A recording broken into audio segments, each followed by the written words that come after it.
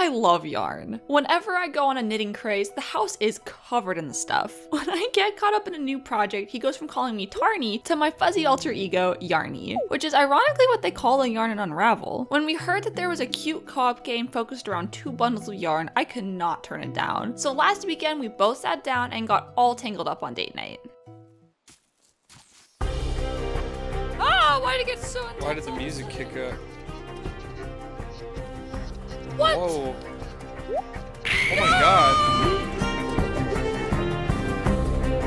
Unravel 2 is a puzzle solving platforming game, but with yarn. The little yarnies do a good job pulling on my heartstrings throughout the different levels, and it's fun seeing how they interact. It's really the perfect feel good game to play on a rainy afternoon when there's not much you can do outside.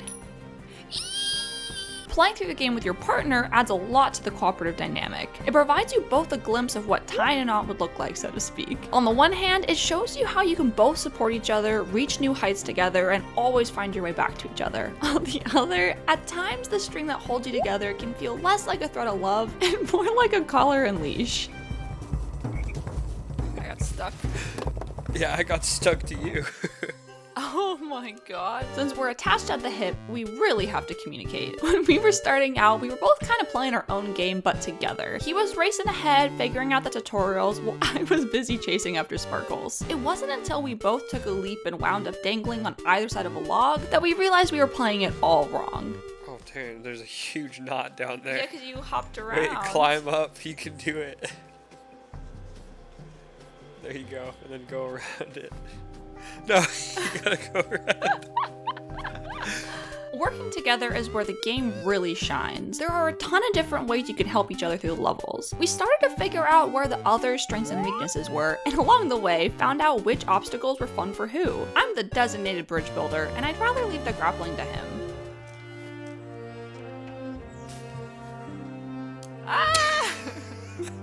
He moves through this world with such grace and style that it has me a little self-conscious. Unravel takes it pretty easy on me, so the stakes aren't that high. But I still find myself getting embarrassed every time I come in next to him for a rough landing. All in all, I'm able to do it, and that's what's important. It might not be as smooth or flashy as him, but we both end up in the same place.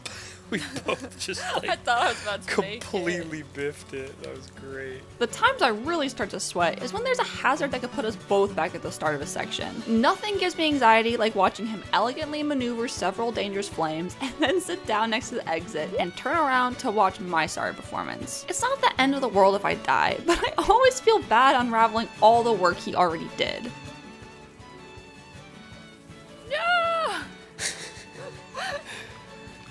Come on. The fact that I can koala him when things get dicey is true to real life. It's not the first time he's whisked me away from my problems, and it won't be the last. I gotta tip my hat to a game that recognizes that one player might be better equipped to handle dodging hazards than the other. Letting us carry the other person whenever we want is amazing, especially for sections where we have to avoid getting burned. It's also tons of fun when he's the one screwing up, because then it's my turn to harass him for slowing us down. You think I can make it? Do you need to, like. In my defense, I lasted a pretty long time. You did. With all that said, my days as the hard carried are something that's mostly behind us. Admittedly, it would be a much faster playthrough if he just zipped through all the sections he could and put me down whenever we needed to collaborate. He refuses to just let me hold on and enjoy the ride the entire game, for good reason. I have to agree, it's much more fun to have a partner. For the sake of my sanity, please combine with me. One of the more enjoyable things about this game is that it feels like there's plenty for both of us to do. For us, a lot of levels feel sort of like a race to see who can get to the other side and pull the other one up first. Nice. One more. Oh my god! I got you. Come climb, climb. It's nice to know that as long as one of us makes it up to the ledge safely, the other has a guaranteed rope to victory. It leaves room to experiment and mess around, and also gives things a bit of a competitive edge. That's one way to do it. Oh no! you pulled us both.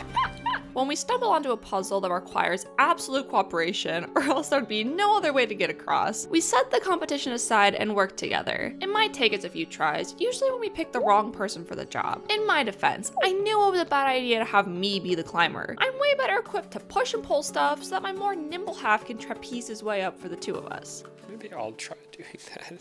Let me try one more time. Okay, yeah, you can try one more time.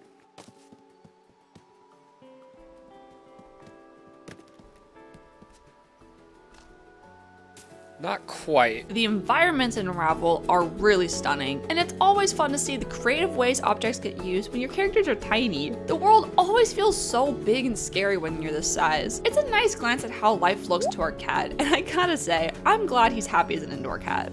Hey, yarn, don't get run over. Mikey!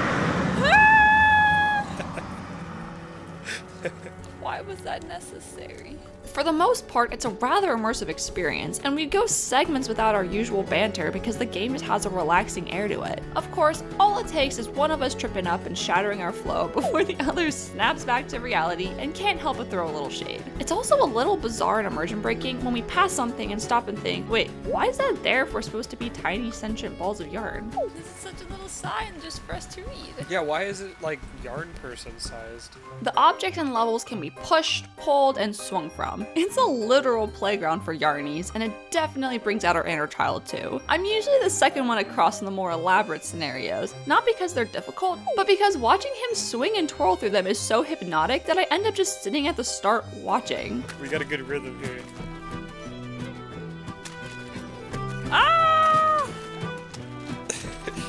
We both have our fair share of distractions. Sometimes it's more fun playing with the objects in the world than moving on to the next map. I have an idea. Speedy. I have an idea. Okay, ready? Okay, am I going? What happened? What do you mean? Am I go? All you had to do was sit still. I was. What are you doing? Little shiny collectibles are his favorite thing and my literal nightmare. Just when it feels like we're really getting into the rhythm of a level, one of those sparkly balls of light catches his eye and the pacing gets lost. We could be running for our lives from the world's angriest turkey, and he'll start pumping the brakes and go after a shiny. All I have to say to him is if he gets to go after all of these, then I get a free ride next time I get chased by a game bird. Ah! When things are winding down for the evening and we can't commit to an entire chapter, we like to play some of the challenges. The most fun we've had were probably the challenge levels because those are the most difficult. Usually when the yarn gets burned, you start over right from the closest checkpoint, but in the challenges, you have to complete the entire challenge in one go. Okay, so I'm thinking this time I combine with you. What? Yeah. I think you should climb. Oh no. nice try. Motivated by a combined effort to free more yarn for customization purposes, the two of us agree to the classic one more before bed fallacy. I can't tell if he's just really bad all of a sudden or if he just doesn't want to go to bed, but I could have sworn he was better at the game than this.